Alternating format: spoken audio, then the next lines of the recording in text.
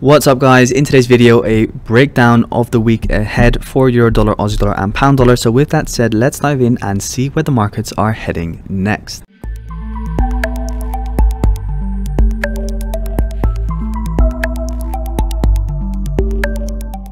So starting off with the weekly time frame, the weekly time frame of course moved very bearish in towards the downside after this break of structure on the weekly and has seen a pullback with some bullish order flow back in towards this area of supply which is in line with the overall EQ if you look and see this as your entire swing in towards the downside. So pretty much prices now pulled back in towards the 50% and if you know how to trade premium and discount, we now all know that price has come back in towards premium levels and is therefore high probability or higher probability to move back down in towards the downside. So looking at this weekly area of supply, we can of course see that initial reaction on the 30th of January, tapped in or wicked in and then pushed down. However, then met demand over here in this sell before the buy candle and saw a further push up in towards the highs with the overall daily bullish order flow on which I'll touch upon in a second. Now looking at the overall market it does look pretty much yeah like price could see a push back in towards the downside. If you consider this high over here as a liquidity high also we can of course see that the weekly time frame failed to close above this wick which for me is never kind of like a very good tail sign so it could be that this is kind of like your second liquidity grab tap in towards supply and price is now ready to pretty much dump back down in towards the lows. However, are we going to just start dumping on Monday? Let's have a look at the daily time frame because the daily time frame, of course, is still bullish. If we look at the daily, um, pretty much what we expected last week, um, occurred, we saw of course a new close above this high, meaning that we now have a new higher high formed. Well, of course, the new higher high could also be located over here. It kind of depends on where the pullback starts or is initiated. Now, we have pretty much this area of daily supply located over here. Of course, we could drag down the zone in towards here because this is where pretty much the buy before the sell-off starts. So this entire range is supply. And then of course what you can see is that we reacted. However preferably you always want to take like the pivot which is that last candle um, as your area of supply. And then we can see that it's still untouched for now, um, what we can mention, of course, is that after a break of structure, we expect a pullback. So I am expecting a pullback. However, preferably it would occur from this yeah, most recent um, pivot uh, supply zone on the daily time frame. Uh, this could just be a liquidity grab and kind of like a fake out on the high and then dump in towards the downside. It's pretty much going to be dependent on how we open on uh, Monday. Um, so I'll just be keeping my eyes out. Of course, this is pretty much your order flow zone. This entire sell before the buy, so price could just tap a little bit lower on Monday and then potentially pull back up again. But what I'll be waiting for, preferably, is either a long once we kind of like tap in towards let's say this zone a back up in towards the highs before let's say one more big sell-off in towards the downside. Um, that's what I'm going to be keeping my eyes open for. This is also pretty much your only let's say fresh sell before the buy your only fresh area of demand as pretty much all of these other zones. So let's say this sell before the buy um, and then let's take this sell before the buy let's take this sell before the buy.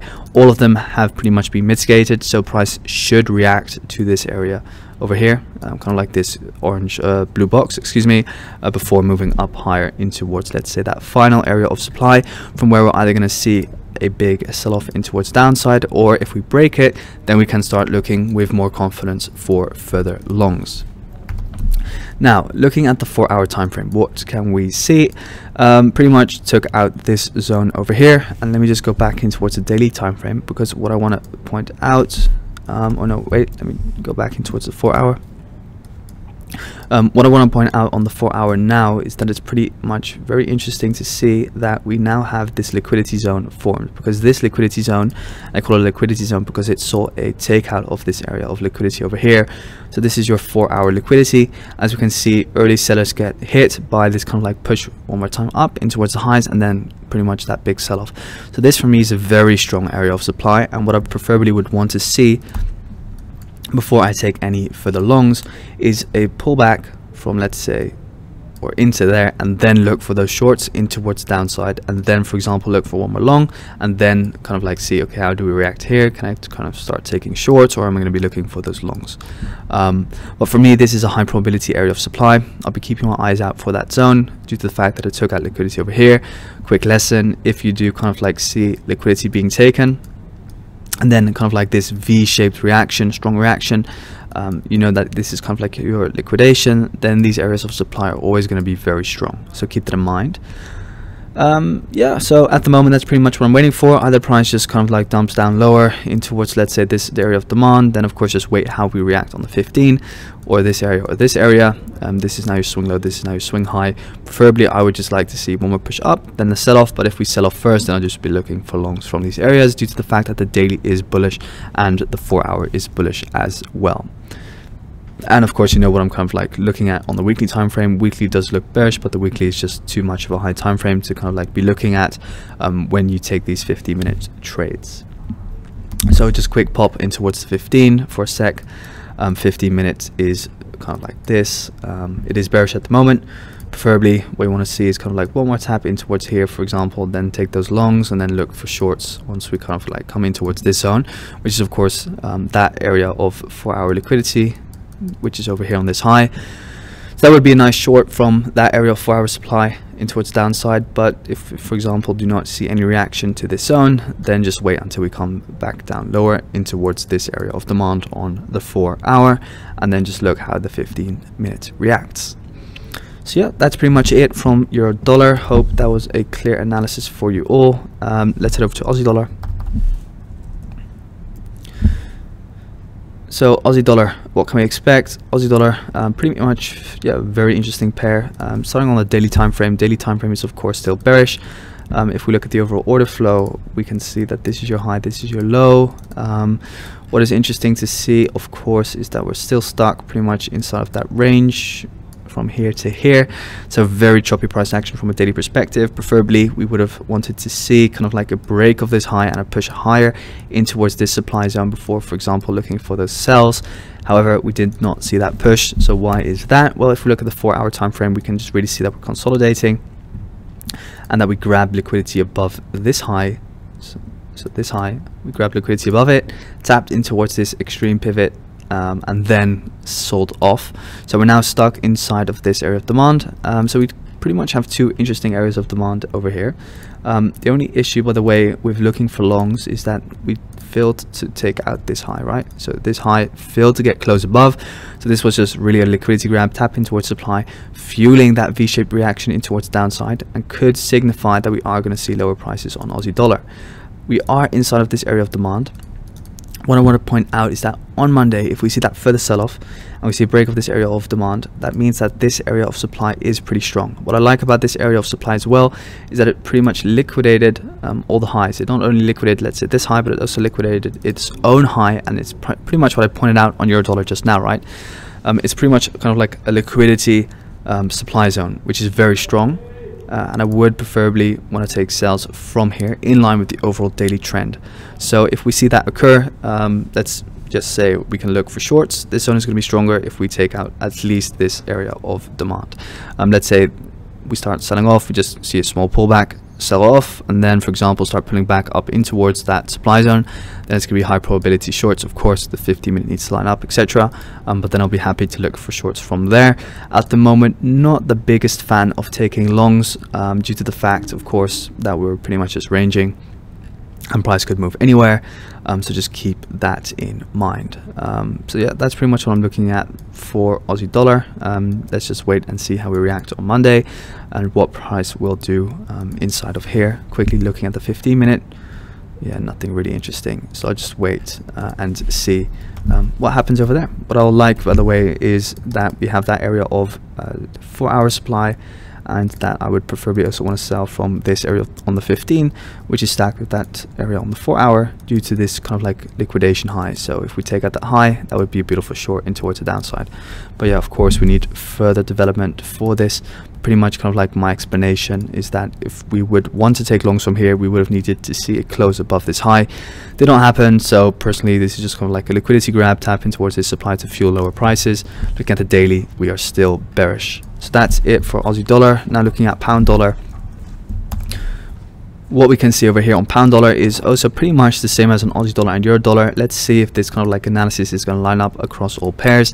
This is your area of supply. This area of supply is pretty high probability because again, it's a kind of like a liquidation supply zone. Again, it took out this high over here So it acted as a kind of like liquidation area of supply, right? We took out the high, kind of like faked out all this buy side liquidity and then boom, sold off in towards the downside with a kind of like a V-shaped reaction, meaning that there's a lot of supply inside of here. Um, for the rest, all of kind of like this order flow, all of these blue zones over here have already been mitigated, meaning that there's not a lot of kind of like buying pressure anymore left in pound dollar. Also, if you look at the overall kind of like how price moved in towards the upside, it's not kind of like very impulsive, it's pretty choppy. So meaning that there's a lot of liquidity below these lows, and I would not be surprised if pound dollar is now ready to sell off in towards the downside after grabbing liquidity above its own high. So preferably what you want to see is kind of like a break like this, push and then push further down. So Monday preferably kind of like take out this low over here, then pull back, then further sell off in towards the downside. Um, that is preferable for pound dollar. Um, quickly moving down lower in towards the four hour time frame because that is my main time frame. What you of course can see um, is that the demand zone over here is still holding. Um, so that is a sign that price could still move up. Preferably, I would like to see it get taken because that would just further kind of like strengthen this area of supply over here. Um, what I'll be waiting for on Monday is pretty much kind of like a pullback but yeah if you look at this zone this area kind of like again it's a liquidation zone very strong. Took out its own high and then sold off but then straight away you can kind of like see it sold off. Took out these lows push down pull back push down uh, pull back inside of this wick. So it pretty much already liquidated that zone over there meaning that your main area of supply is now located inside of this candle this doji candle this fat doji candle. So what I'd like to see is pretty much um, a break of this area of demand on Monday, then a pullback, then a further sell-off. Highest probability, guys, highest probability is that if we can break this low over here on Monday, um, further sell-off in towards downside, let's say we just see kind of like a minor pullback, then push down in towards pretty much, let's say this over here, liquidate this low, um, and then just expanding this area of demand like this, for example, take out that low over here and see a break of structure, um, pull back, then let's say pull back take out this liquidity which is then formed above this high tapping towards this area of strong supply which is stacked with that daily area of supply which again is also strong because it's uh, taking out its own high um, that would be very high probability shorts for me. So that's pretty much what I'm going to be looking for. I hope you guys understand my analysis and what I mean with kind of like these liquidity zones. Um, we can see this four hour is stacked with that daily so it's yeah, just super strong. Um, again, we've just been chopping in towards the highs. I'm not a very big fan anymore of pound dollar longs due to pretty much just yeah, we're hustling this kind of like slow price action towards the highs. It doesn't have to mean anything, but that's just pretty much what I've seen in the past. Um, when you kind of have this, let's say, break of a high like we had over here and then straight away kind of like that v-shaped direction towards the downside it pretty much means that these bulls are worn out and we could see these lower prices. Um, still if we don't so let's say see kind of like a break of this zone or we don't see a pullback all the way down and a break of structure I'll still be happy to kind of like see how we come in towards the zone to look for those potential shorts. Could be totally wrong but that is of course uh, my analysis for now. Looking at pound dollar as a whole um, I would be a fan also looking at pretty much us having some supply over here um, eventually from where that move in towards the downside again initiated to take out these lows over here.